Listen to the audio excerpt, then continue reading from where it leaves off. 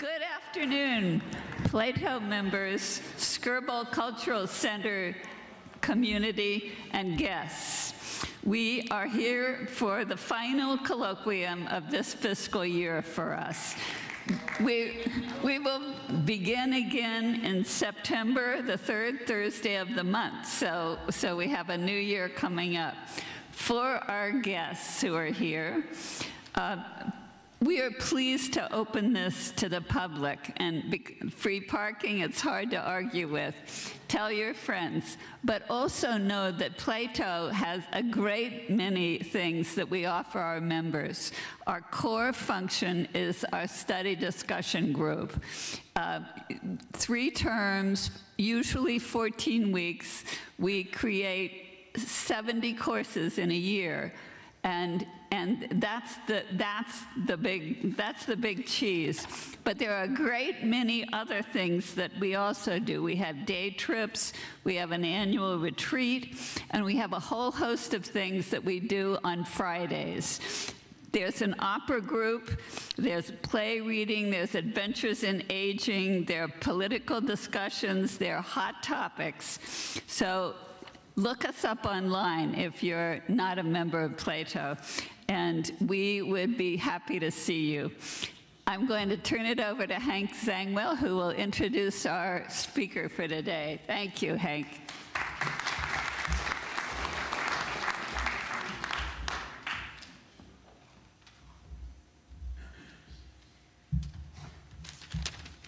Thank you, Nancy, and I also extend my welcome to everybody. I think there's little doubt that the 2016 election was one of the most unique that most of us have gone through. And I can't think of anybody who's more qualified to discuss it with you than our speaker today. Professor Lynn Vavreck is the Marvin Hoffenberg Professor of American Politics and Public Policy at UCLA and a contributing editor to the New York Times or contributing columnist to the, US, to the New York Times. Professor Vavreck teaches um, courses and writes about campaigns, elections, and public opinion. She holds an MS and a PhD in political science from the University of Rochester and has previously worked at Princeton University, Dartmouth College, and the White House. She received her bachelor's degree and, her, and a master's degree in political science from Arizona State University, where she studied with our own Peter McDonough. Professor Vavreck is a 2015 Andrew Carnegie Award winner and is the recipient of multiple um, grants from the National Science Foundation and awards for her work in political advertising. She has published four books uh, which include the message matters, which Stanley Greenberg called required reading for presidential candidates, the, and the gamble, which was described by Nate Silver as the definitive account of the 2012 election.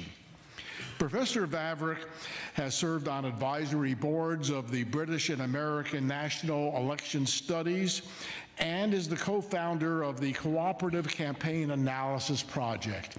Please join me in welcoming Professor Vavreck.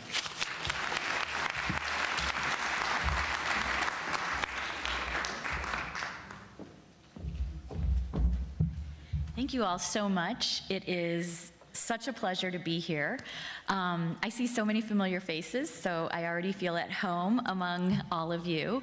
And um, while we're just uh, queuing up here, I'm going to take the microphone out. This is maybe going to make some noise, so I apologize in advance because I'm going to get out of the way a little bit so that you can see some of the things that I have brought to show you today. So for the next half hour, 35 minutes or so, we are going to talk about what happened in 2016. Um, it is what I call the identity crisis, the battle for the meaning of America. So we're going to talk a little bit about identity, That will mean talking about race and religion and ethnicity. We will talk about Trump voters. We'll talk about Rubio and Bush and McCain voters from 08 and also Clinton voters uh, from 2016 and 2008. Um, sometimes these topics are emotional for people, so just want to, this is not really a trigger warning, but I just want to let everyone know um, what's coming. And of course, there are people in the room who have voted for all of these candidates. Um, so we not only want our conversation today to be informative, but also, of course, respectful of everyone in the room. Um, so I want to start this uh, now provocative conversation um, that I've previewed for you by talking about these two gentlemen. This is Rakeem Jones. And Rakeem Jones never saw it coming. That's where I want to start this conversation. What he never saw coming was a swift punch in the gut from this man, John McGraw. So both Rakeem Jones and John McGraw found themselves in Fayetteville, North Carolina at a Donald Trump campaign rally. John McGraw, McGraw, was there supporting the candidate. Rakeem Jones was there with some other friends of his from Black Lives Matter protesting the candidate. Donald Trump was at the podium, and you all know, you can think back to those quotes that have been repeated over and over, saying things like, See those guys in the back? You know what we did to guys like that in the old days? If you see one of them, just punch them. I'll pay your legal fees. So John McGraw did punch Rakeem Jones. Donald Trump did not pay his legal fees. But what happened after the punch was interesting. Rakeem Jones, who was being escorted out of the hall by police at the time, fell to the floor, as one does when one gets punched unexpectedly. But nobody saw what had happened. People didn't understand why he was falling to the floor. So the security just kind of scooped him up and escorted him out, even though he was saying, Someone hit me, someone hit me. Nobody knew who threw the punch. After the rally, just by luck, one of the cable networks was asking people, What'd you think of the rally? What'd you think of the rally? And they happened on John McGraw, whose name, uh, nickname, by the way, is Quick Draw McGraw. So you'll, you'll often hear him referred to in the media as Quick Draw McGraw. So they happened on him and they said, Hey, how'd you like the rally? And he said, I loved it. And they said, What did you love about it? And he said, My favorite part is when I clocked that guy. So he outed himself on national television the next day, police showed up at his door and um, charged him with assault. So in that interview, though, they asked John McGraw, why did you hit that man? And this is what he said. He said, ah, there we go. Ooh, wait, nope, okay. Okay, let's try that one more time. Uh, you want me to wait? Okay. he said, I hit him because we don't know if he's ISIS. We don't know who he is. The next time we see him, we may have to kill him. So John McGraw is a retired man living in North Carolina, and he is spending his retirement years working with leather. He loves leather work. He makes belts, he makes bookmarks, all kinds of things that he gives to his friends um, that he's making in his workshop at his home. It is my, why do I start with this story? Because it's my belief that this interaction between these two men is really a metaphor for the whole campaign. John McGraw did not go to that Donald Trump rally that day thinking, I'm going to hit some guy and get arrested. He did it because something the candidate said at that rally encouraged him, provoked him, activated him to respond this way. And that's going to be the theme for the whole rest of this presentation. That 2016 was really unique because of things the candidates said. In particular, today I'm going to talk about Donald Trump. Things that Donald Trump said in his campaign provoked reactions in people that are unique to 2016. And that's the data, I'm going to show you lots of data about that, and, um, and then we can talk about it as we go along. Okay, we'll come back to these two guys at the end. So do you think I have to be pointing this at you? Okay, all right, so here we go, let's test it. Perfect. Okay, we'll remember to do that. Okay.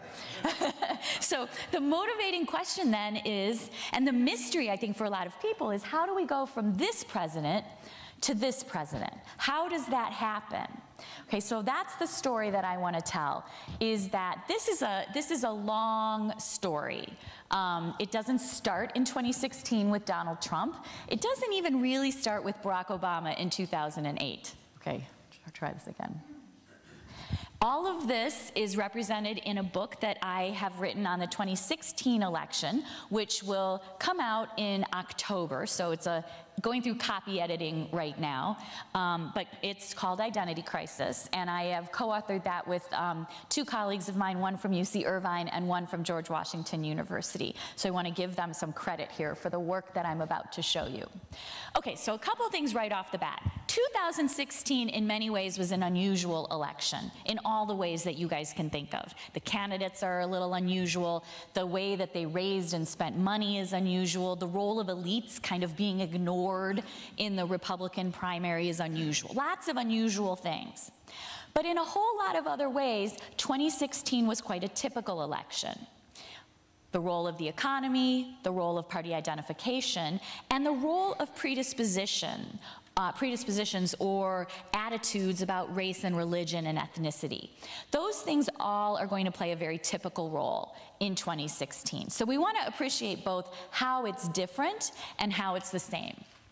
So the story about 2016 goes back to probably around 2000, maybe even a little bit before.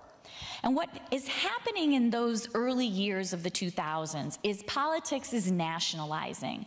Even our midterm congressional elections, which really used to be driven by local matters, by who that incumbent member of Congress was, those are becoming more and more nationalized. They're all about the same thing, no matter where in the country the congressional district is. So the congressional politics is starting to nationalize, and the parties are starting to get more homogenous.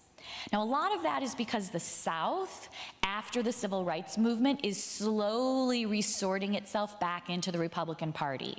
So we don't have Southern Democrats who are conservative anymore. Those Southerners are Republicans. And that really makes the parties nationally look more homogenous. But as they become more, homogen more homogenous, they're sending a stronger signal to people everywhere about what it means to be a Republican or be a Democrat. So people are now more clearly seeing if they're in the wrong party. Oh, I, I, belong in that other party. So people are sorting too at the same time. So the parties are getting more homogenous, and as you probably have recognized if you pay any attention to Congress, they are also separating, becoming farther apart ideologically, at least in Congress. So all that is happening in the early 2000s. And then a key turning point for this separation and signaling about what parties stand for comes in 2008 with the election of Barack Obama. And what that election did was help a lot of people in the population realize what the Democratic Party stood for, or some things about the Democratic Party that they maybe didn't know before Obama was elected. Okay, so we're gonna basically work through this in four parts. First, we're gonna talk about setting the stage, this stuff that I've been talking about. Where's the landscape for 2016 come from? Then we'll talk a little bit about how Donald Trump leveraged existing attitudes and activated them. He didn't create the attitudes, he just woke them up a little bit. We'll talk about how identity issues mattered in 2016 relative to previous presidential elections and more in 2016 when Donald Trump is the Republican relative to Jeb Bush or Marco Rubio or Ted Cruz or Kasich or any of the others. And then finally, just a little bit at the end about how his focus on these racially and religious and ethnically inflected issues, these identity issues, refracted all of the other things in the campaign, including education and the economy, some basic bread and butter things that always matter. But they matter a little bit differently in 2016. So that's what we're going to work through here in the next little bit. Okay, so setting the stage. How does that 2008 election of Barack Obama help people learn that the Democratic Party should be associated with equality and to aid to minorities? And then what does that have to do with setting us up for 2016? Okay. Sometimes it likes me and sometimes it doesn't. Okay, here we go. So what I'm showing you here is data from a big election study that the federal government funds that goes way back in time to the 1940s.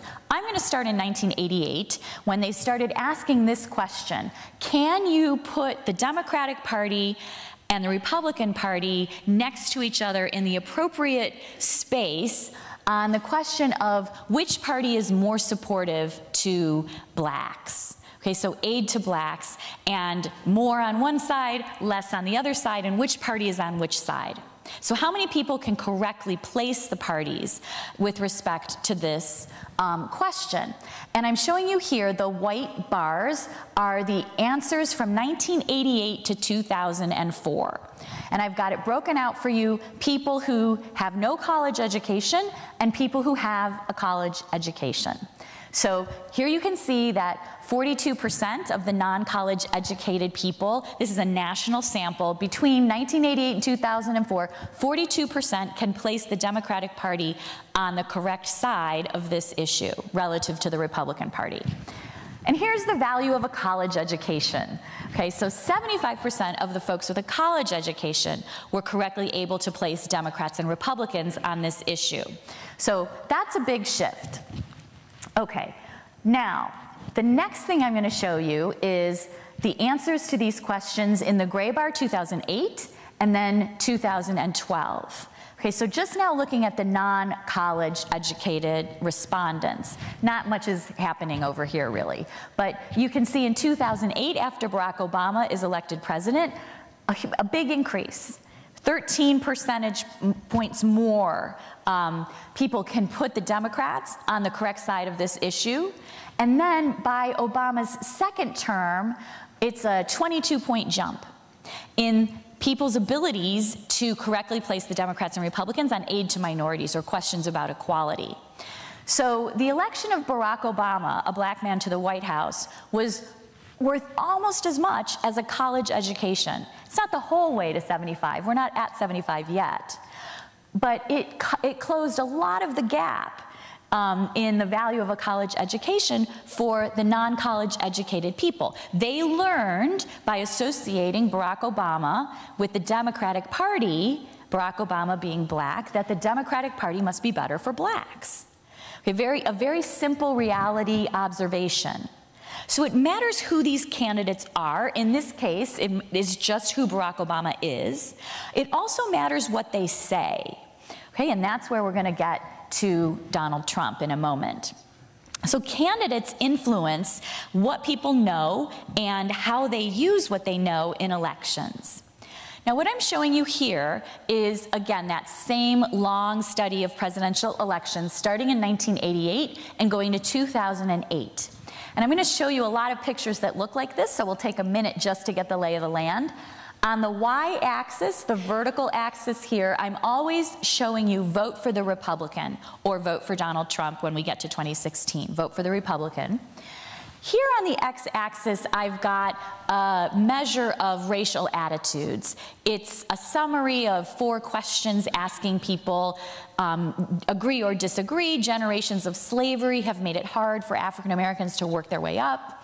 Um, if blacks tried harder, they'd be just as well off as whites. It's a series of questions asking about work ethic and experience and race.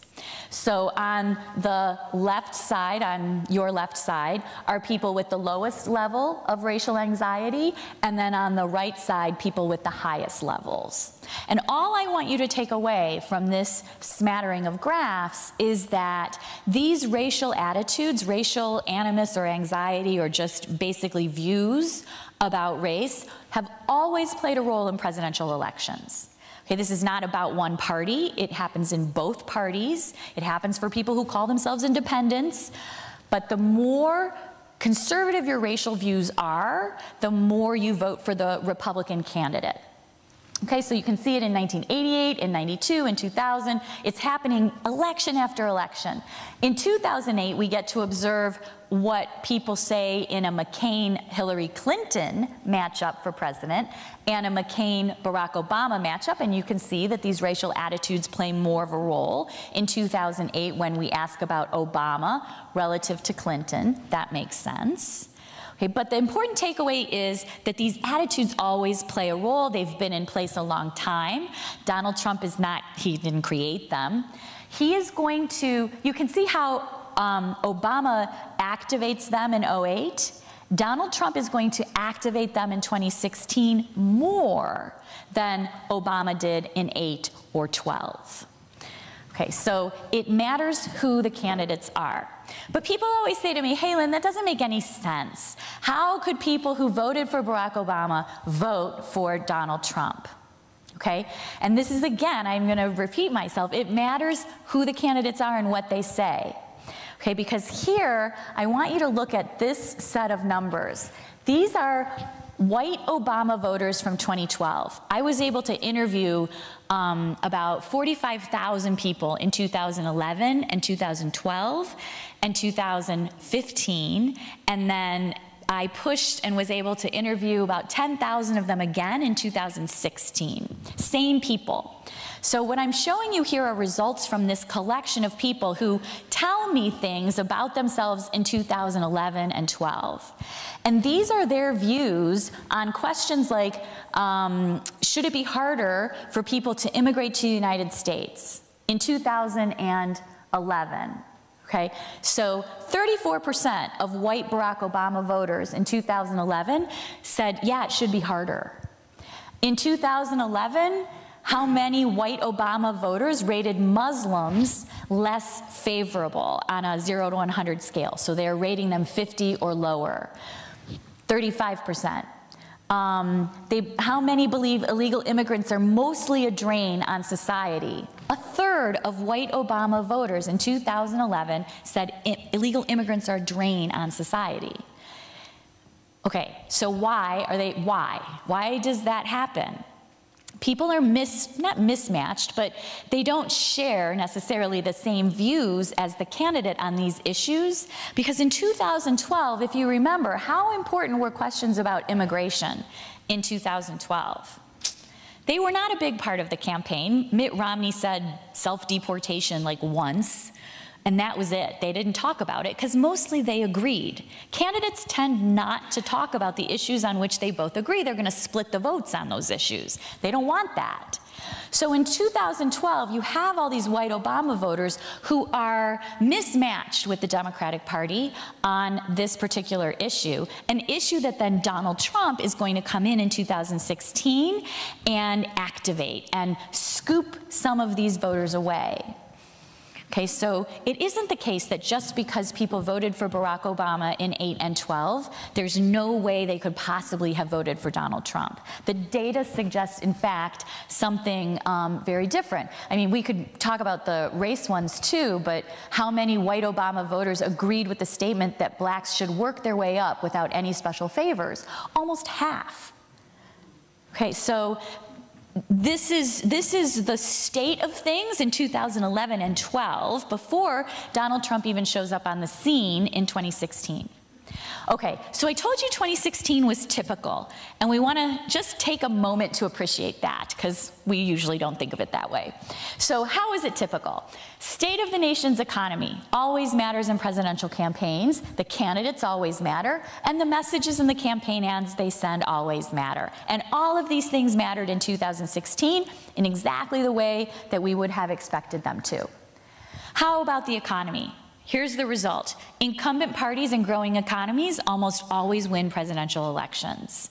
Okay, if you just knew what the change in the growth rate was, change in GDP, in the first six months of a presidential election year, and you said, if it's growing, the incumbent party will get reelected, how many times would you be right? You'd be right more than 75% of the time, slightly more.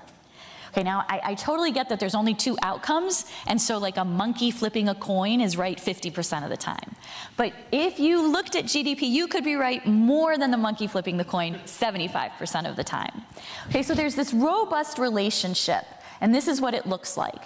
So growth rate in the first six months of the election year and vote for the incumbent party in the presidential election, whatever, whether it's the actual person or not, the incumbent party. And you can see here all the, the years, but the, the line through these dots is uh, steep and sloping upward. So the better the growth rate, the better the incumbent party does. So here's 2012 just almost right on the line. We had a, a middling level of growth um, and a little bit of an overperformance by Barack Obama. But here's 2016. Slightly more growth than in 2012, but that thing is right on the line. The line is drawn without 2016 in there. Okay, 20, the 2016 election was exactly where we would have predicted based on this kind of robust and canonical relationship. And the key thing about this is that in this equilibrium where you have two serious candidates who are well financed, pretty equally financed, this, all these elections are like this, both want to win. In that equilibrium, we expected, we can do this calculation in January right? Sort of say, oh, what's the growth rate going to be by June and make a couple guesses. It could be this, it could be that. But we can say, like, hey, this election is going to be close. And we did. We thought it was going to be really close. Um, we knew the growth rate, we knew we weren't going to be out here. Okay, you know that in January of 2016, and you know you're not going to be over here. So we, everybody thought it was going to be close, but then Donald Trump sort of emerged as this super unusual candidate. He was breaking all these rules, and I think everybody thought, well, we're not in this equilibrium relationship. So this close prediction, we can discount that because he isn't like all these other candidates. He's changed the equilibrium. Um, of course, uh, the popular vote yes, the election is right on the line, but the popular vote and the electoral college vote are opposite. So we can talk about that a little bit in the Q&A, but in terms of the dynamics of the election and it being close, that was not a surprise. And so since neither party was going to benefit from the state of the economy, we weren't booming, but we weren't crashing, both candidates had to sit back and say, what can this election be about that I can benefit from? How can I refocus off of the election and onto something else, some alternate issue? That's the challenge for candidates. It's not just any issue. The issue has to meet three basic criteria. It has to be an issue with lopsided public opinion. Just like with immigration in 2012, you don't win by refocusing the election onto an issue where you and your opponent take the same position and uh, the public opinion is 50-50. Or you could even take opposite positions. If public opinion is 50-50, that you don't want to reset the election onto that. You need to reset the election onto 60-40, right? You, and you have to be on the side that benefits. Right, so you refocus it onto a lopsided issue, but you better be closer to most voters than the other guy. Sometimes candidates get this wrong. I'll let you guys think about Barry Goldwater. Okay, so sometimes they get it wrong. It's not easy, this is hard. Um, and it has to be an issue that either is or can be made to be important. And if you think about where they both ended up, these identity issues, Clinton with her Stronger Together message and Trump with Make America Great Again, they did. They did refocus the election onto these identity inflected ideas. Um, and, uh, you know, they were issues that were always important. And so all they had to do was wake them up. So the uniqueness of Trump, how does he wake up these issues, um, in particular in a way that had the election been Hillary Clinton, Jeb Bush, or Hillary Clinton, Marco Rubio, and she was out there with everyday Americans. If you remember, that was the slogan when she launched her campaign, Everyday Americans Working Hard. Uh, and Stronger Together came a little bit later. But if that had been in the context of a Jeb Bush or a Marco Rubio, it would have maybe not been as exceptional maybe we wouldn't be talking about how that was an identity-based campaign. Um, but in the context of all the things Trump was doing, then both campaigns become about identity. Okay, so to refresh your memory, Make America Great Again, Trump wove this in in a lot of the same ways that Kennedy wove in the new frontier in the 1960s. Kennedy made that, you know, we stand today on the edge of a new frontier, the frontier of the 1960s. He made that about the space race, exploring the oceans. He made it about education, our kids doing better than the Russians, about the arts, about music. He made that about everything, an all out war for the future of the world with the Soviets. And Trump, in some way, does the same thing with his Make America Great Again with this identity inflection. So he's making it about security and safety. He's run, he ran ads about Islamic terrorists and um, guns, but also about in group, out group ideas and sometimes, and he, he reflects that in his language, us, we versus them or they. And sometimes the us he's talking about are the people in rooms like this who came to his rallies. And he would say they, and maybe he's pointing to the media platform, maybe he's pointing to the Black Lives Matter protesters. But for Trump, there was always a they, there was always the other. And that language is what sets us in this identity frame. Then everything is viewed through this lens of is this person in my group or out of my group? Okay, and you start feeling good about the people in your group and not so good about the people outside your group. Um, the in-group, out-group, and us versus them language also then combined with the Make America Great Again slogan. So the again is really important, right? America was once great, but is not now great, but could go back to being great. Oh, and by the way, um, we don't want any radical Islamic terrorists, and we need to keep our guns, and the press are bad, and the protesters are bad. Okay, so when that all gets woven up together, then questions about citizenship emerge. What does it mean to be an American? Who is an American? Who should be allowed to become an American? And so these questions then all get wrapped up in his presidential campaign. And people respond. Okay, so this basic question of what does it mean to be an American? What kind of country do we want to be? becomes the central dividing uh, rift in this campaign. So I'm going to show you what the data, how the data tell us that. Okay, so uh, again, here are a lot of pictures that are going to look like this. Vote for Trump or the Republican is always going to be on the y-axis. Here on the horizontal axis, I'm showing you how unique Donald Trump is on this dimension relative to other Republican Party nominees, Romney in 12 and McCain in 8. This picture is about people's um, attitudes toward a path to citizenship. Do you favor a path to citizenship or oppose it? And you can see that for Mitt Romney, there's that flat line, immigration not, not playing any role in, um, in that 2012 campaign, basically no relationship for McCain. But for Donald Trump in 2016, if you opposed a path to citizenship, you were much more likely to vote for Trump than if you favored it.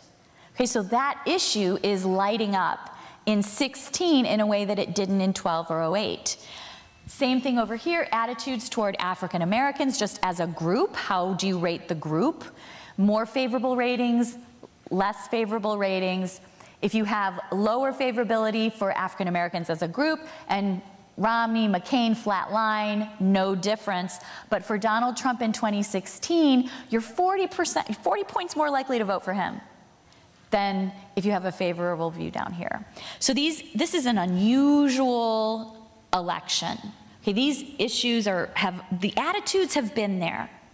Okay, but even these two gentlemen running against a black man, right, these racial issues are not being lit up by Romney and McCain.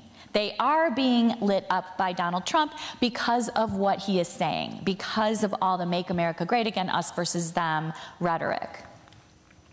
Here's another picture, um, again, Romney and McCain. Now I've got on the x-axis here your favorable rating of Muslims as a group, low ratings, high ratings, and you can see flat line for McCain, but this um, steep relationship for Trump. Again, that's a 30-point change in the probability of voting for Trump. Here is a thermometer rating of Muslims. So again, just another way to show the rating of the group as a whole. A thermometer goes from 0 to 100. Um, and again, for Romney in 2012, flat line. And for Trump, the same relationship. So it's not happening for McCain and Romney. Uh, McCain, yes, McCain and Romney, but it is for Trump. So what about 2016 specifically? So I've shown you that he doesn't look like other Republican nominees. He's unusual. He's also unusual among Republican candidates. Okay, so in 2016, um, well, we'll start with we'll start with past uh, past nominees. So here's 2004 general election, 2012 general election, and then 2016, and you can see that's the one that's different. These are white voters only, but this question is asking, do you think whites are discriminated against? No, or yeah, I think that happens a lot. Okay, so you can see white discrimination or thinking about whites as a group that might share something um, like discrimination, not playing a role in 4 and 12, but there it is in 2016. And then over here, a somewhat different question. Um, do you think discrimination against whites is as bad as discrimination against minorities? I strongly disagree. I strongly agree. Now, these are the same people so this is a really interesting picture. These are the people I told you about who I interviewed in 2011 and 12 and again in 16. So these are uh, just white voters in all, it's the same people in 12 and 16. So you can see a slight relationship in this relative discrimination question in 2012, but a much bigger relationship in 2016 um, for the Donald Trump election. Okay, and again, those are the same people. Um, so here now, we'll look at, um, again, favorability ratings of blacks as a group. And what if we ask people about Hillary Clinton in 2016 versus Cruz or Rubio, some of the other 2016 candidates? Um, relatively, you know, flat, maybe a little bit of a relationship here in the, in the line. But for Trump, a much steeper relationship. It's help, helping people conceive of these choices, these identity um, attitudes. And then the same thing over here, if we control for things like party and ideology and demographics like age and education. So seeing if we can break the relationship. What if this is all about education? Or what if it's all about gender? It's not. When we account for those things, the relationship still looks different in 2016 than it does, or sorry, uh, for Clinton versus Trump than it does for Clinton versus Rubio or Cruz. Okay, and last picture like this, um, just to, in case you don't uh, see the relationship yet, the last one. So what I'm showing you here now, same thing, different matchups. Clinton Rubio, Clinton Trump, Clinton Cruz, Clinton Trump, Bush, Trump, and then this is Carson and Trump. And on the x-axis now, I'm showing you um, a sort of unusual measure, but this is again a scale of four questions about whiteness. These, are, uh, these pictures are for white voters only. And the questions are things like, um, do you think that whites are losing jobs to minorities? Um, do you think whites should come together to pass laws that are good for whites? How important is it to you that you're white?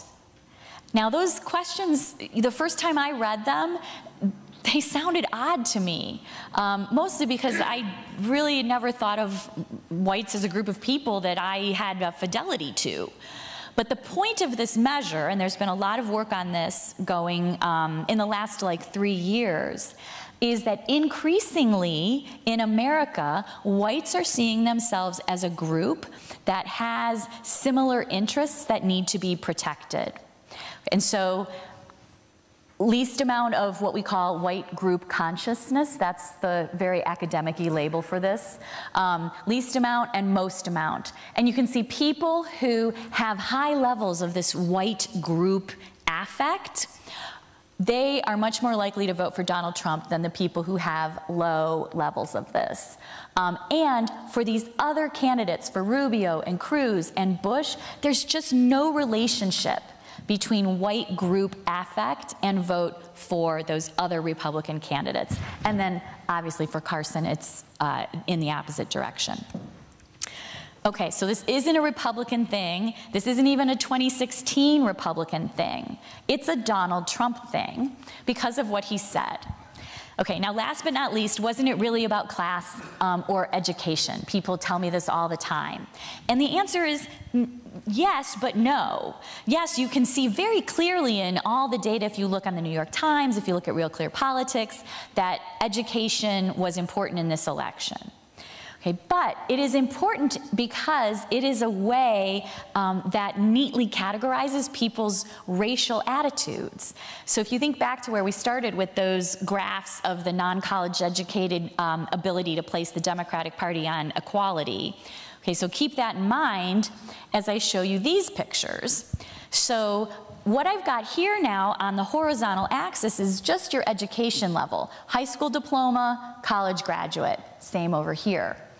So um, this is, again, vote intention for Trump among white people. And you can see that when there's no controls in the model, just like what is the relationship between education and vote, that it looks like there is a relationship here, and a pretty big one. Okay, if you have a college degree, you're much less likely, 20 some, 30 some points, to vote for Trump than if you don't. That's the result everybody knows about right? People, oh, the working class, the white working class. It's not about working class, it's about education levels. So white non-college educated voters went for Trump more than college graduates. But it's not even about education. Because when we control for your views on immigration and race, that relationship with education goes away. So it's flat. So what this picture is telling us is that Education is a marker for your racial views. But what's really driving the 2016 election is not just that you don't have a college degree or that you went to college, it's what is associated with that in terms of racial attitudes.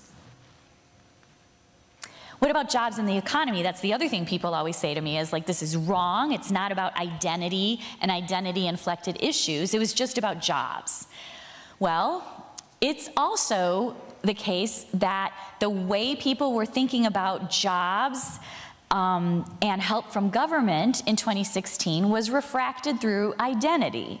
So this is a little experiment that we ran to try to get at this idea to show this sense of deservingness. What this is, we made up this word, deservingness, um, that you read this everywhere in 2016 in the long form journalism, in the New Yorker and the Atlantic, that they would go to these places and they would talk to white voters who were voting for Trump, and they would say things like, um, those people are cutting in line. I've worked hard my whole life, I've waited in line, and now they're cutting in front of me. They don't deserve that job, or they don't deserve that help. We wanted to try to see if there was anything to that. Could we see that in the data? So what I'm showing you here is an experiment that we ran, where this is a, a, a sort of famous question, um, have, in the, in the last several years, have blacks gotten less than they deserve? That's the question that the American National Election Study has been asking since the 1970s. So we asked random, uh, a random set of people that question, and the other random set, in the past few years, have average Americans gotten less than they deserve? Okay, so in the sociology literature, the, an average American is pretty clearly demonstrated to be in almost everyone's mind a white person. Okay, so this is really a question that is going to tap into identity. Okay, and in the whole sample, you can see these are the results. So in the last several years, have blacks gotten less than they deserve? 32% um, said yes. But in the sample that got the have average Americans gotten less than they deserve, 57% said yes. Okay, so there's in the full sample, there is a divide between what groups people think are sort of getting the shaft. Okay, and average Americans are paying a, more of a price than blacks.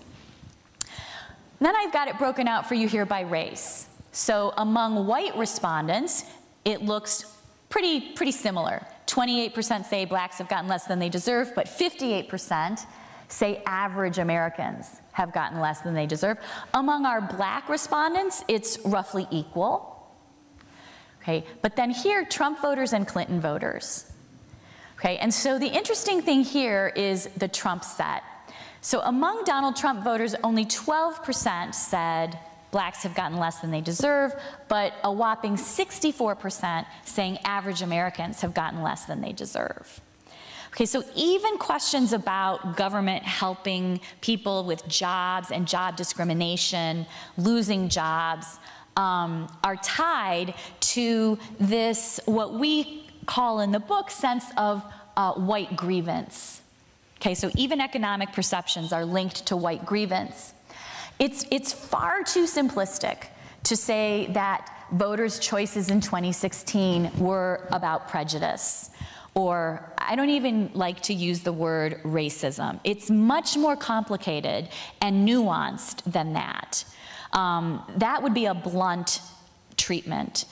The way that Donald Trump's Make America Great Again whoa, sort of trickled down through the whole campaign across all the issues makes the story much more nuanced, right? It's about have you worked hard? And you see someone else who hasn't worked hard getting a leg up from government when it comes to jobs and the economy.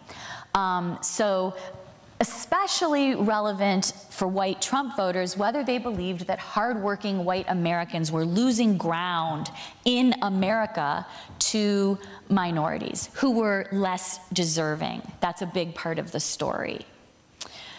Okay, so what do we do with all of this? Oh, here, here's just a great quote from one of these um, long form uh, stories I was talking about from the New Yorker. So, you know, this is classic uh, magazine journalism. They go into some small town, but they're talking to Jesse, and he says, I see the government bending over backwards to help other groups, immigrants, minorities, while ignoring the people hurting in my community. They worry about making everyone else happy. I feel forgotten. Okay, so I feel forgotten. And, and that shows up in this isn't just the New Yorker going to find a guy who would be a good story. It shows up in different public opinion data sets when we ask the question in all sorts of different ways, including the little randomized experiment that I just showed you. Okay, so back to Rakeem Jones and Quick Draw McGraw. Here's another thing that Rakeem Jones never saw coming. At the end of their trial, John McGraw pulls, he goes to shake his hand, which was a surprise to Rakeem Jones, but he pulls him in close and he gives him a hug. And what you can see happening here is um, they're just about to hug. Okay, and John McGraw whispers in Rakeem Jones's ear, this is months, this is like nine months after the election now. A lot of time has gone by. And he whispers in Rakeem Jones' ear and he says, It's up to you and me now. We let a bad thing happen, but we have to heal this country. Okay, now we could have a long conversation about we let a bad thing happen, but um, but the sentiment is that it just reinforces the idea that, you know, John McGraw is not a man who every day goes around hitting people. Um, and so he was uh, activated by the rhetoric in the campaign and, re and regrets it. He never apologized to Rakeem Jones. I, when I give this talk, people are like, you know, he never apologized. He didn't. Quick Draw McGraw never apologized. Um, and that was a very big deal to uh, Jones and to the Black Lives Matter movement. Um, but he did express regret. Um, and so, what do we do uh, with all of this when we think about the future? The, the, even, the, even the slideshow doesn't want to go to the future. no, don't make us. Hmm. Um, Okay, well, here's, here's, here's, here's, here's the last thing. Um, so, that's fine, it's fine, it's just, it's just, oh, okay. so, so here's, here's the last thing. Um, what happens next? Okay, and presidents are usually pretty influential in uh, creating a party image. So, one possibility is that Donald Trump establishes the Republican Party going forward as the party of white identity, the party of white group consciousness and white group affect. That is a very, very different Republican Party than Reince Priebus and the people after 2012 who wrote a more than 100 page task force report for the future of the Republican Party, having lost in 8 and 12. It was called the Growth and Opportunity Project Report. Um, and the takeaway of that report was we cannot become the party of white Americans because we will lose. Okay, now Donald Trump just demonstrated that you can win and become the party of white Americans. And so the question going forward is what is the next well, I, I, hate to, I hate to break it to you, but Donald Trump probably is the next Republican presidential candidate too, but the one after him. So what does the next non-Trump Republican candidate do? Um, and what do they do on these identity issues in particular? And I don't think we know. Um, and uh, it's particularly important because this politics of white identity, as we've seen, as you see in the John McGraw, Rakeem Jones story, is a particularly divisive politics. Um, and so, what happens next is sort of where I'm going to leave you and entertain your questions.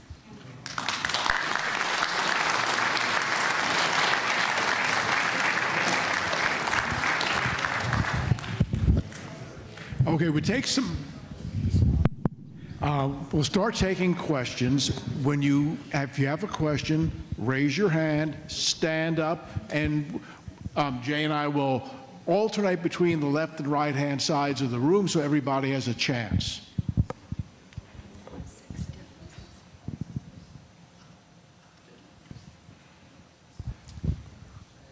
I was wondering. I was wondering if there's a similar study um, asking questions about attitudes toward women. Uh, say the last part again, asking what about women? Attitudes toward women oh, attitudes is determinative of the tendency yeah. to vote for Trump. Yes. Um, we do have a part of the book about attitudes toward women. Um, that is, as you you know, rightly saw, notably left out of my identity conversation here today. It is not left out of the book. Um, but the reason that I don't have it in the talk is that it is not nearly as clean of a story. Um, I, I can't really make pictures like this about attitudes toward women because they don't have the same relationship to the Trump vote. Um, so you know, does that mean that gender didn't play a role in 2016? No. Uh, you know, we can talk about a lot of ways that it probably did, but it doesn't have this kind of obvious role in terms of um, how people view women and their vote for Donald Trump. Um, we can see it in, so I'll tell you what I mean by it's not as clear. Um, we see it in one data set, but not in another. And it's not just like half the data sets show it, half the data sets don't. Um, in some data sets, the relationship is strong, and in even the ones where we see it, it's much less strong.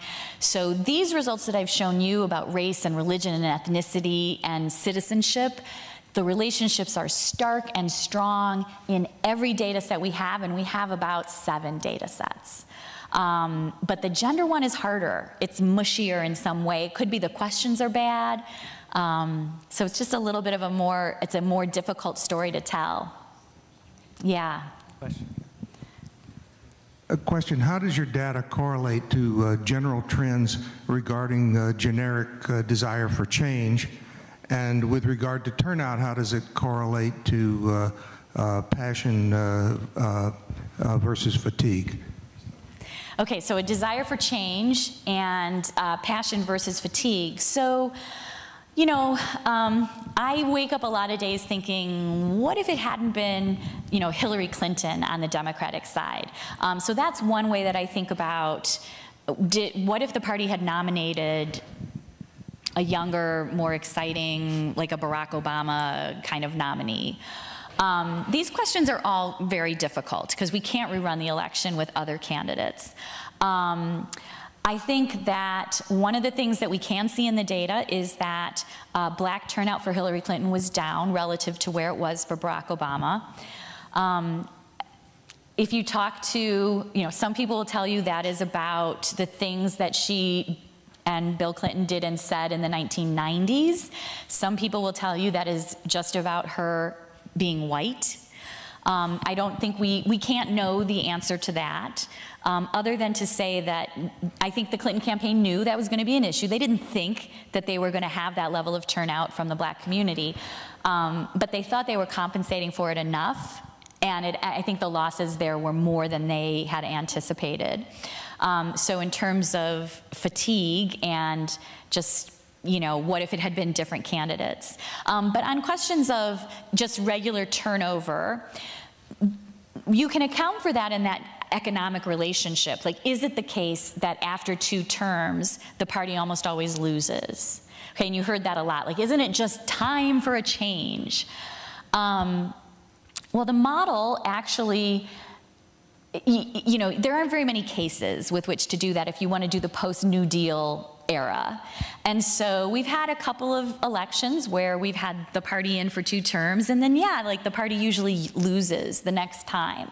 Um, my own view of that is that that is more about what's going on in the economy in those moments and more about who the other side puts forward because they'll wait, right? Like if you're a Democrat right now who's interested in becoming president, um, Donald Trump is going to, I hate to tell you, but I don't think he's going to be impeached before, you know, I know people always are like, what, really? Um, but I think he's the, nom- he's the Republican nominee in 2020.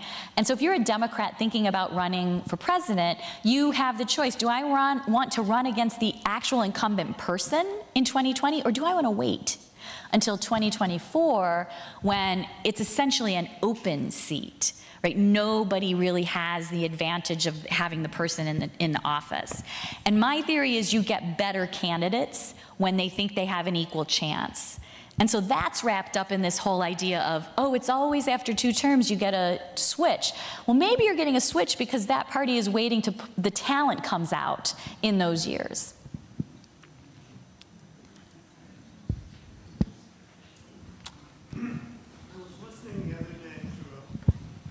Wait till he. I can repeat the question too, because I can hear you. I, I was listening the other day to a podcast where Preet Bharara interviews a, an Egyptian physician who became a, a comedian in the United States. I can't think of his name, he's quite popular. And his message was that he was quite hopeful because his daughter, he lives in Los Angeles, his daughter goes to elementary school. And when he asks his daughter to describe his classmates, many of whom he could tell by their last names or were, were not white, her daughter describes them by the color of the berets they were wearing or what sports they played, that, that it, she would never make reference to their color, their background, the, the, the, the slope of their eyes. So my question is, is that unique to Los Angeles? Is that way off in the future? Is that a contraindicator to your study? Yeah. Um, that may be unique to Los Angeles. Um, you may have heard that California is like the, the place that has now set itself up as being, you know, the, the, the biggest example of not Trump's America. Um, but the, more importantly, just to speak about data a little bit more precisely, when, there are people who study young people, um, and in particular this post-millennial generation, whatever we call them, the mobile generation or whatever they're called. Um, and their racial attitudes are dampened a little, uh, maybe the same way that uh, people who were born in the 1960s have, a, have sort of less racial um, division than people who were born in the 1930s. So there is that trend continuing, but it isn't the case that these post-millennials have, have no racial attitudes. Um, in fact, they have much more than I think most people expected to see. Why is that? I'll just say a little bit about what the, the research on this um, indicates is that there are these set of attitudes that social psychologists call you guys, there's probably social psychologists in the room. I should let you guys explain this. Um, but they're pre adult socialized attitudes. So you get them when you're very young. And you almost, I mean, it's not literal, but it's almost as if you inherit them from your household, from your parents, um, and your communities. And those uh, predispositions that are pre adult are very, very hard to shake. Um, they don't change very easily. So it is the case that this, this newest generation has inherited those attitudes. They're not gone yet. Um, but if you take the super, super long view, you know, maybe eventually. You did indicate that you thought Trump would be the candidate for the Republican Party. No disagreement. However, do you feel that what we are seeing now, fostered by the media and by so many others, including people in the Republican Party, that his base will remain as strong as it is now and that there will be no change in the election? Definitely.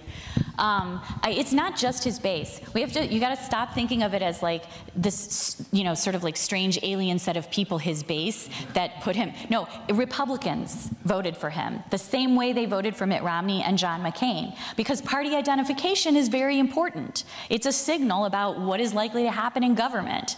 Um, and yes, Donald Trump was unusual in all these ways, but one of the typical, when I had that slide about how 2016 was typical, and one of the things was the economy, but then it said party identification. Election after election, 89, 90, 92% of people who call themselves Democrats vote for the Democrat and Republicans vote for the Republican. And in 2016, it was like 80 some percent. So it was a lot. There was some slippage, maybe a little more slippage, but the slippage kind of went the other way even. Um, more Obama voters switched to vote for Trump than we would expect. Okay, so uh, especially among white non-college educated voters, so it's it's not just about the base. Okay, it is, and I think the base is, there. Like that is not changing, but the, the re, let's call it the reelection set. Okay, the reelection set of Republicans who voted for Donald Trump in 2016, are they going to come out in 2020? Yes, um, they are. And uh, I don't think there's much that could happen um, to change that. Um, when the man said I could walk out on Fifth Avenue and shoot someone and I wouldn't lose any votes, um, he didn't literally mean that, but he has demonstrated that he, he can withstand a lot of things that a typical politician could not withstand. And that's important. I think it's important to appreciate that he's not a politician and that politicians have norms that they typically follow. Mitt Romney, John McCain, running against a black man, both of them on the record in different books and things, saying there are a bunch of words and phrases that we are never going to say because we are not going to be accused of playing the race card in these elections. Okay, so Donald Trump clearly that's not a tactic that he was going, and it's not a norm that he was going to observe because he's not a politician. And I think voters actually appreciate that. They hold him to a, to a different standard um, than this, this, you know, this poor set of politicians who are interested in the common good. And um, just, you know, this morning, Donald Trump is out there, uh, you know, it was actually a, it was a very reasonable conversation he had at this uh, UN um, press briefing. And he said, look, I'm a deal maker. That's what I do better than anybody. I make deals. And we're going to get this deal done. Um, if we can have the conversation, we're going to get a deal. If we can't have the conversation, we're not going to get a deal. Um, there will still be an action. And I thought, you know, people, voters appreciate that, that he is not a politician. And so it's again one of the ways that you know, why it's difficult to imagine changes. I'm Sorry, last thing I'll say about this. You mentioned the media. I think that's a really important element um, that the more mainstream and especially cable media, I don't want to say, well, we talked at lunch about how it's a, it's a little bit of a broken record. Um, what crazy thing happened in the Trump White House today? Um, and every day that that happens, I think uh, it, talk about like identity politics, in group, out group, us versus them.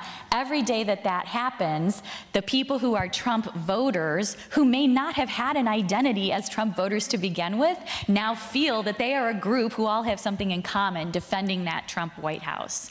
Um, so I think that's not helping either. Hi, I'm assuming that another lopsided issue is abortion. Have you done any studies on that? Yes. Um, so, uh, abortion is an interesting uh, case when we think about how it plays in terms of politics because it isn't the case that voters are divided. So, most voters are in the middle. Um, sh shouldn't always be illegal, shouldn't always be legal but should be legal under certain circumstances. And for the most part, if you give people a long list of circumstances, they pretty much agree, regardless of which party they're in. Right? No, nobody will tell you, well, I shouldn't say nobody, very, very few people will tell you that they think it should be legal for a woman to have an abortion just because she doesn't want another child. That question, even though if you think abortion should always be legal, that is, so you should, and people will say, do you think it should always be legal? Yes. Do you think it should be legal in this case? No. so, you know, but when you give people the list of things, it's very, um, people agree on what those conditions should be, and very few people take the polar positions. Politicians, the parties on the other hand, only take the polar positions. So you can, if you're a voter, you can only choose, you know, one side or the other side, even though most people's positions are in the middle. Before, I think you mentioned that it's difficult to beat an incumbent, especially if the economy is doing well. And yet, I remember that Jimmy Carter served one term. Many Democrats voted for Ronald Reagan. And years later, many Democrats unseated George Bush Sr. And I think the economy was doing well then. So could you please explain that? Yes, so you're talking about um, the 1980 election. So Jimmy Carter runs in, in 76 and then in 80. Um, and actually, the, the growth rate there is not positive. So that prediction is exactly what we would expect. Um, things are not going well, and he gets kicked out of the White House. So that's a, that, that case fits the typology pretty well. I think that I heard you eh, miss stated. Did you, so that it is that incumbents do well when the economy is growing. That's the relationship. And they, they don't do well when it's not growing. So in 76, it's not growing. He's the incumbent. He gets kicked out.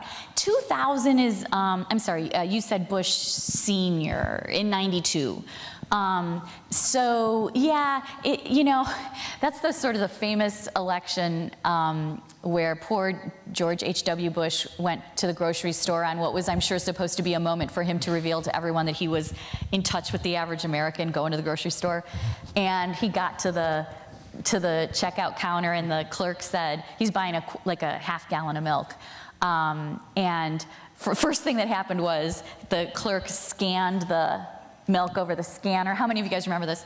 And George Bush said, well, isn't that a nifty thing? You know, wow. Like, he had never seen one before. Okay, so like, you know, you gotta feel bad for the guy, right? And then the second thing that happened is the price came up on the thing, and it was, you know, whatever was two and a quarter or something, whatever the half gallon of milk was back then.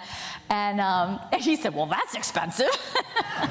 so he's just really not helping himself out. But the, but the point is that the 1992 election is a little complicated because the first few months we were in a recession. You guys maybe remember that. But then the economy started to really come back right as the election got close, sort of summer into fall, the economy's coming back. But it's too late. So one of the weird things about this economic relationship is that it's those first six months, January to June. And January to June of 1992, we were still feeling that recession. Uh, Lynn, with the drop off in the number of whites, the sheer Uh, uh, uh, demographic drop off, where is the Trump model going? I mean, it sounds like a single factor question, but I guess it seems to me that the clock is ticking against the white identity party, whether it's led by Trump or not. Any thoughts yeah. on that? No, I think that that's, you know, that is sort of the math, right? That's, that's not special math, that's just math. Um, whites are becoming a smaller share of the population, of the voting population in America. Now, you have to resist the urge to buy into the demography is destiny story. So many people after 2012, political scientists, high end political reporters, long form journalists were out there saying, you know, Going forward, American politics is all about demography. Republicans cannot win if they're only campaigning to white people. Okay, that could not have been more wrong right? So it's just important to say that out loud. People thought the Latinos would very naturally go to the Democratic Party because blacks are always solidly Democratic, so why, you know, there were lots of reasons to think that that was true. Um, the Latino population is actually quite diverse. Uh, national origin plays a large role there. Uh, cultural context plays a large role, but I think that um, how soon that's coming, I don't know, but it's obvious, right? The math just suggests that if you're going to be a party that survives, let alone thrives, uh, at some point you will not be able to win by only appealing to white voters. Now, I think what everybody didn't appreciate about what could happen is that all those white voters who voted for Barack Obama could be stolen back right, by a Republican. And they certainly didn't imagine, sure, like another global financial crisis with, you know, coming out of a Democratic presidency, yeah, maybe people swing over to the Republican Party. But nobody imagined that you could win that many white voters back by explicitly campaigning on identity. Um, and I think that's, you know, if you if you dial that up, can you get more white Democrats? Can you get all of the white non-college educated voters to become Republicans? Like that could go on for a long time. Um, so, so I think just you know the demography as destiny thing needs to really slow down. Some people say that uh, political identity is in decline, and they point to the fact that the approval of Congress is less than anything. And uh, Donald Trump, before he became the nominee, he had to beat 15 or 16 party Republicans. And he swept it against all of them. So maybe uh, the question here is not what the, the identity of the voters of Trump, but whether or not the next time that someone competes against uh, um, Trump, is he a politician or not? If he's not a politician, it's a different debate. Yeah, that's that's really interesting. Um, I've never actually thought about that. What if, uh, you know, even in the Republican primary, um, you get a non-typical politician to run against Trump, or if in 2020 the Democrats nominate someone who is not a norm-abiding typical politician. Um, gosh, I got to tell you, there's a part of me that thinks that's so exciting, and I, I want to, I want a front row seat for that one. But then there's a part, of, uh, maybe the same part of me says, oh God, please don't let that happen. you know, like we're just not ready um, for the norms to be violated on both. I don't know. The one thing I will say though about the beating 16 other people, um, I was just at a meeting with a bunch of um, you know political consultants and, and fancy political people who talk to candidates. Um, and I tried to encourage them to think about ways to limit and coordinate the field in primaries.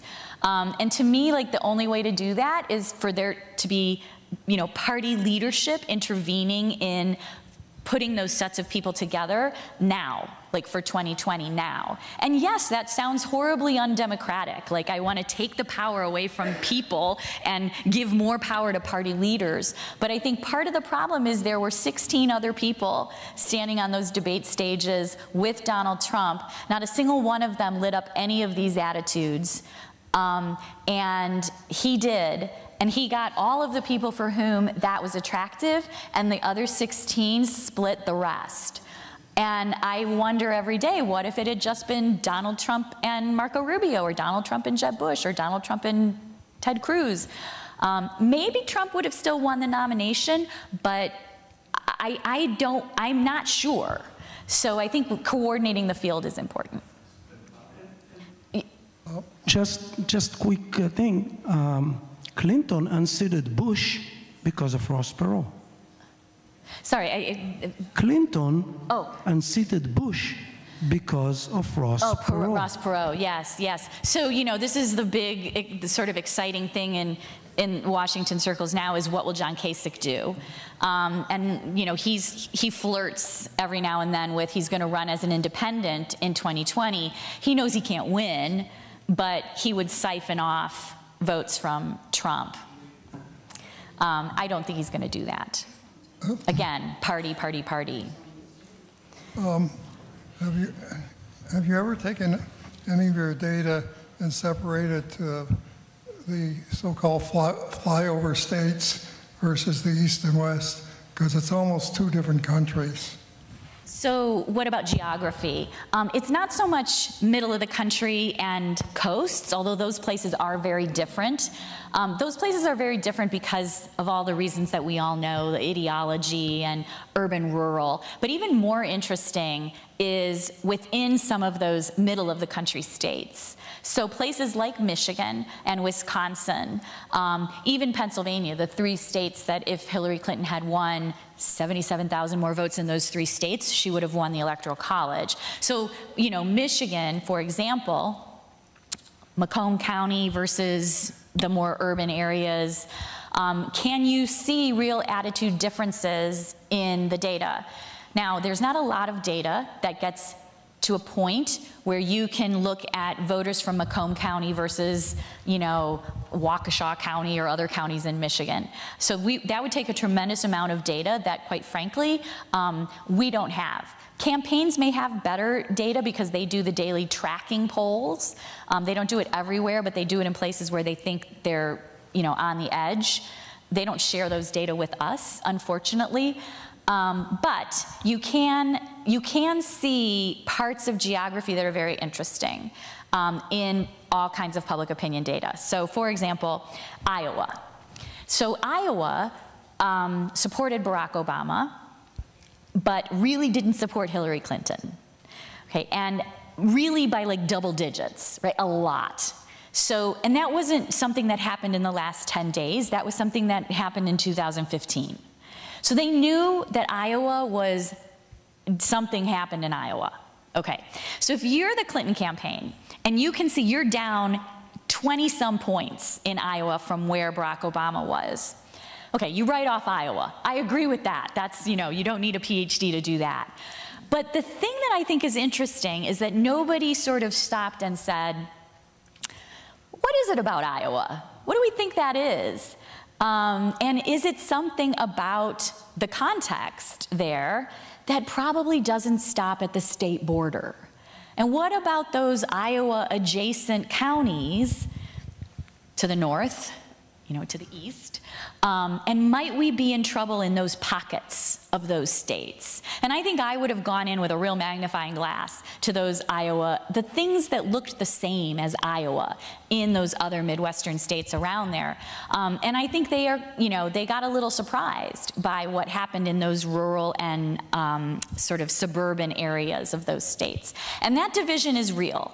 So it isn't like the coasts in the middle of the country, that's, you know, we kind of that's old news. But what's new news and sort of interesting news is what's happening in urban versus rural areas everywhere. Um, and that is, uh, that's going to really be a focus of 2020. You will see lots of attention paid to that. Do you, do you think that the uh, campaign by the Koch brothers and their associates had any cumulative effect on the election and/or were you able to evaluate any of that uh, in your Yeah, I'm just going to ask you to repeat the Analysis. the campaign by the uh, uh, Koch brothers? The Koch DeVos, brothers. Because it sounded like you said Oprah. And I was like, Oprah. Okay. Okay, the Koch brothers. You can see Koch brother, Oprah. You can see. Um, okay, so what about those uh, independent expenditures, as, as they're fondly referred to in Washington? Um, so, what has happened since Citizens United is that although technically there is no coordination between independent expenditures and the candidates, um, the independent expenditures have picked up a heavy lift in terms of advertising. And um, that was true in 2012. It was relatively true in 2016. What ends up happening is that you still, remarkably, with all this lack of coordination, end up in a very balanced scenario. In 2012, the candidates ran almost the exact same number of ads, spent almost exactly the same amount of money, candidates plus their IEs. In 2016, obviously, Trump advertises and spends a lot less than Hillary Clinton. So the Koch brothers in 2016 is complicated because they do not campaign for Trump in the primary, um, and then they do not really campaign for him in the general. So they're not so much a factor in 2016. Um, if you're interested, though, in the Koch brothers and the Mercers and the role that they did play in 2016, I'll plug for you an excellent book, the best book on 2016 that I've read, called The Devil's Bargain by Josh Green. Um, it will tell you the whole story about the Kochs and the Mercers and Steve Bannon. Um, the book is really about Steve Bannon and how he meets Donald Trump and what that relationship is like. But the Mercers and the and the Koch brothers are sort of supporting candidates. Um, really good book. We alternate sides. What if uh, the Democrats campaigned on a different identity issue of class, of the working class, and uh, Trump being obviously a uh, not of that class, and uh, ran a Bernie type campaign against in him? 2016. Yeah. In 2016, in 2020. Yeah, I think that, um, you know, strangely, I think that the Clinton campaign's first instinct of everyday Americans was probably the right instinct. And some of this would have come out, I think, in that they were very sensitive to like a whole bunch of public opinion polling showing people don't want to be called middle class and they don't want to be called working class that those are those don't mean the same things that they meant when middle class meant moving to the suburbs buying a really nice car putting your kid in a really good school. Now middle class is associated with being underwater on your mortgage you know, your kid in a crappy school. So, so it, they mean different things, so they don't want to use that language. So the language they came up with to speak to that was everyday Americans. They, they abandoned that after maybe six or eight weeks in the summer of 2015 when it, was, it wasn't resonating very well and people thought it was, it was pejorative.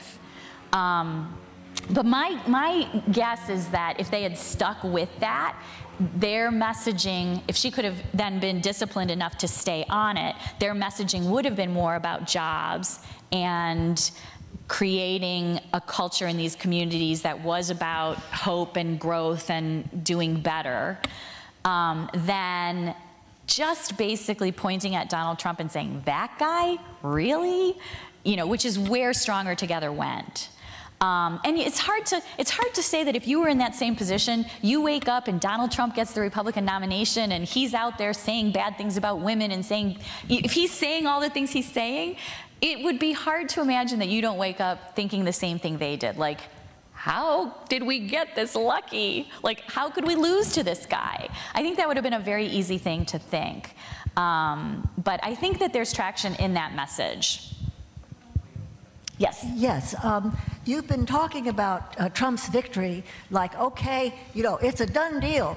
It was a cliffhanger. It was an absolute cliffhanger. 100,000 votes in three states would have made the difference. Yes. And um, there is the assumption that somehow that whole advantage is being consolidated in our electoral system regardless of changes like redistricting, which has been already important in Pennsylvania, um, uh, uh, and other kinds of mobilizations of voters uh, that are not part of the white majority. You know, it- have you anything to say that might suggest that these things could, in the immediate future, before 2020, play more of a role? Yeah, it's a great question. So, you know, 77,000 votes in three states. 10,296 votes in the state of Michigan. There are lots of ways to see how Michigan could have flipped. Hi- Higher black turnout in Detroit. Totally imagine that. The other states is, is harder. 44,000 votes um, in Pennsylvania, 22,000 some in Wisconsin. Um, you're not flipping that with just turnout uh, of, of a demographic group. So the question is, um, was that a fluke? You know, those, this is such a small number of votes. Um, Yes, redistricting, but for the Electoral College, it is what it is, right? So, you know, redistricting is one thing, but when we're talking about presidential elections, where the district lines are drawn is, is largely irrelevant. Okay, so um, what do I make of all this? Like, you know, on the one hand, it's a squeaker of an election. It is super close. And but for 77,000 votes, it would have gone the other way. And would we be having an entirely different conversation? That's a question. Most people think we would be. I'm not so sure. But okay, so it's a really close election. But the second thing is, um, do we just want to write that off and say it was a really close election? Let's fight harder next time and try to shore it up. Um, and I think that's where the Clinton campaign is culpable for the loss. So it isn't a fluke. Okay, so because of that Iowa thing I just talked about. Um, is it likely to go back to where it was in the Obama years? No, it's going the other way. Okay, and Trump pouring gasoline on these attitudes and waking them up only suggests it's amplified going the other way. Okay, and that is why, why? Okay, so why is that happening? This goes back to what Peter just said. The, the face of America is literally changing. So why is all of this activating, um, you know, why can Trump push on these attitudes? Now, I showed you that they always play a role. But at the immigration attitudes and the Muslim attitudes, that's all contextual. Okay, so that's post 9 11, and that is the fact that whites are becoming a minority in the country. That's not changing. So, you know, you really want to pay attention. If you're a candidate thinking about the future, um, a Democratic candidate, you, you know, you really can't go back to the Democratic Party in the 1990s or the early 2000s because the country's really different. Um, I was just at this meeting that I mentioned with some consultants, and um, I was trying to again encourage them to have the party play more of a role and to really, you know, sort of make sure we get candidates who will respect these norms, these political, you know, campaigning norms. And they just, you know, kind of gave me a pat on the back and, and said, you know, oh, that's a really quaint idea. Um, and, and, and kind of looked at me and said, you know, but this is it. And I said, what do you mean? And, and they said, well, this is, this is politics now. You know, this is what it's going to be. And I literally almost cried. Because I, I, I, didn't expect to hear that from them, just like you would not expect to hear that. Um, so I don't know. Maybe they're right. I hope that they're not. I hope that there are people who will respect the norms of decency. Um, but, you know, we'll see. We have two more here. And then we have. Uh, there was a, uh, an interesting article in the New York Times last Sunday. Can't remember the author's name, but the contention, he stated flat out that uh, Trump will be reelected in 2020, and the key factor he cited was the attitude of the Democrats.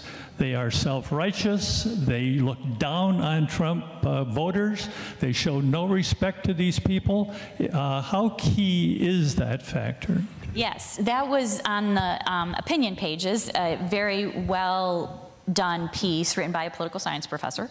Um, you guys should all you should all look for it. It's an interesting read, um, and um, I think that that's probably you know that's probably a part of the story here is that.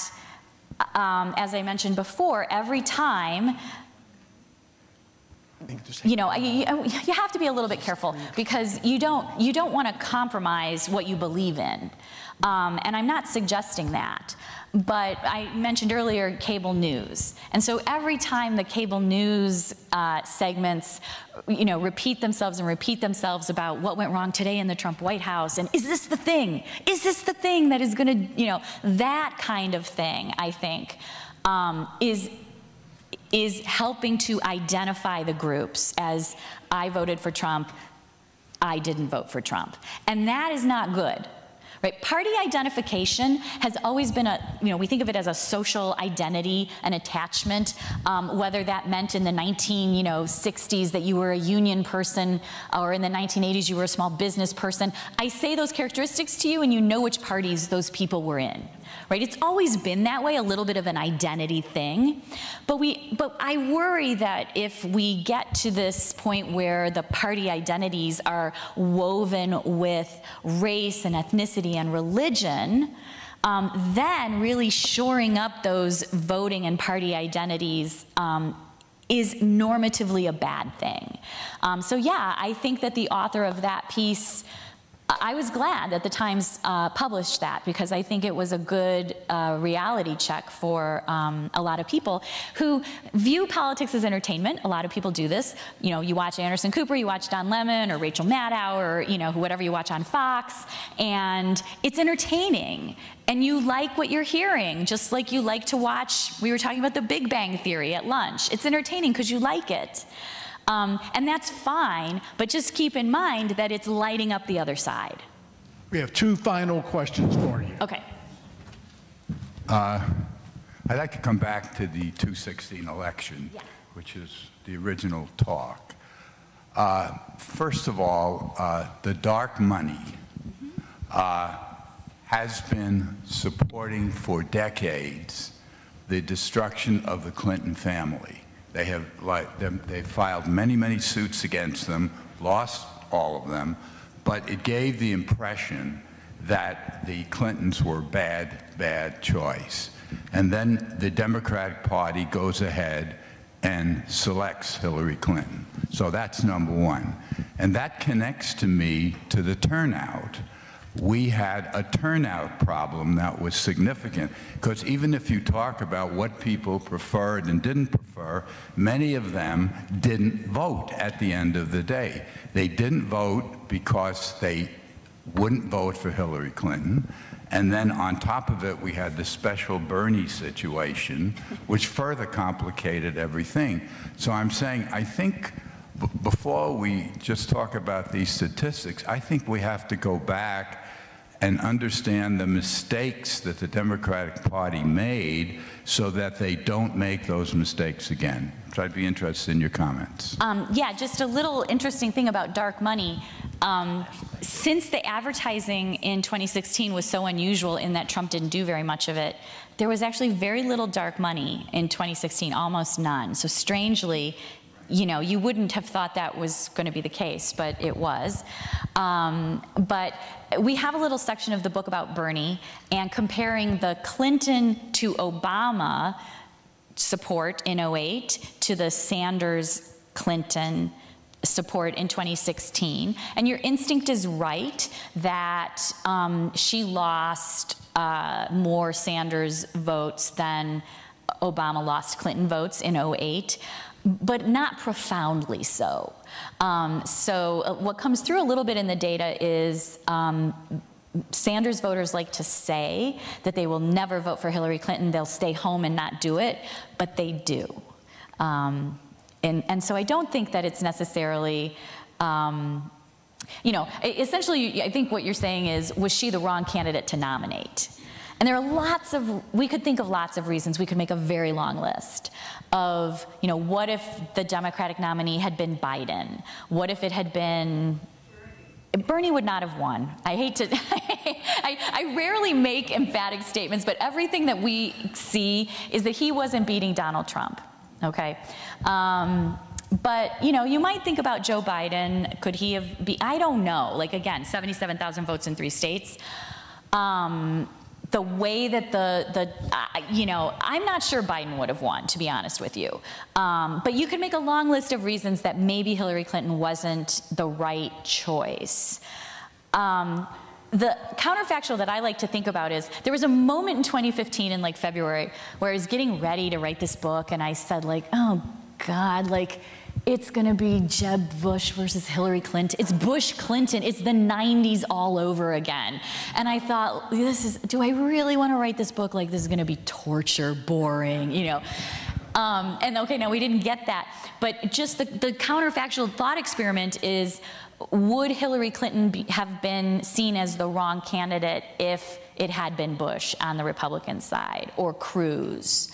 Um, and I think in a lot of ways, a lot of the conversation about the 90s would not have come up, certainly if it had been Bush, because they, they negate each other on the dynasty, you're so 10 minutes ago angle. So it does matter who you're standing next to. Um, and, and it's hard for candidates to guess and to know who that's going to be. It's hard for parties to know that. Um, Thank you guys very much for a very interesting, oh, I'm sorry. Oh, I'm so sorry, so sorry. I, I, I prematurely dismissed you from class. The last question. Okay, I will give a short answer. Yeah, uh, this is just an aside, and that is, I think nowhere has been mentioned, and my Republican friends comment that uh, there's a likability thing about, about Hillary Clinton, and there's probably no one that personified that unlikability more than Hillary Clinton of any candidate that's probably run before. But, but. Well, the good news is that nobody liked Donald Trump either, right? So, but, yeah. But, but my main conversation here is that in the primary, you heard these outrageous statements coming from Donald Trump and bullying his, uh, his, com his competition. And then in the general election, you heard more outrageous statements, and you would have assumed that when he became president, that he would become more presidential. Okay? Instead, he has doubled down. So, my question to you is uh, given that he has given us a wealth of negative comments and tweets, et cetera, in which for any Democratic candidate, hopefully it's an attractive Democratic candidate, to attack, and also given that I have heard pundits saying that to win elections, you got to be negative. What do you say the Democratic presidential candidate should do to take on Donald Trump? Yes, what a great question. What should the Democratic candidate do in 2020 if they're running against Trump? Um, the first thing is that, like, all of that stuff he's done, you just got to forget it all. It's not, it didn't work in 2016. It is relitigating he said he would grab a woman by the, it's not going to make a difference. Okay, so we, we can't have more ads of, of, of, you know, girls looking in the mirror while the track of Donald Trump saying, you're a fat pig, play in the background. Because that did not move the needle in 2016, and it is not going to move the needle in 2020. So the first thing is to just face the hard, cold truth of that. Um, and then the question, I think, is, you know, what's going on with the economy? If the economy is growing, it's, that's a tough nut to crack then. I, I would have to take a step back and, and really think. It would matter a lot who the Democratic nominee is. Um, you, you, I can imagine a lot uh, a lot of things that a Cory Booker could do, for example, um, that um, an Elizabeth Warren couldn't do. So I think that it matters who that person is. Um, if the economy is middling, then I think you can you go there, you go all there. He said he was a deal maker, he said he was a businessman, he has, you know, X number of jobs have left the country, blah, blah, blah, blah, blah. But just economy, economy, economy. That's been a pretty good strategy for a lot of people. 75% of the time, if you hammer on that, you will win. Um, so um, yeah, I think it matters who it is and the economy. That's who should it be? I don't know. I don't know. I don't know. I'll come back. I'll come back. Let's come back. Okay. Let's Lynn, come back. Thank you so very much. Yeah. Let's, we'll come back in 2019 and start again. Thank you.